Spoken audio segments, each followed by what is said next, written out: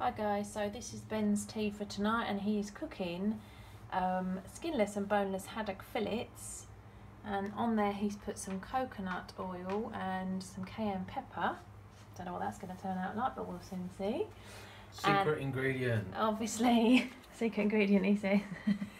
Obviously um, some brown rice there, 100, how many grams? 75 grams. 75 grams with a stock cube in there. And I'm cooking the asparagus and I like butter, so I've put butter on the asparagus with garlic and some pepper. And we'll show you the results So after. here it is. Dinner. 85 grams carbs, 3 grams of fat, and 45 grams of protein.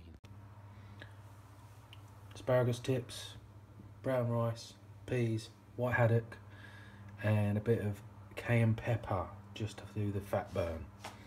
See how it goes.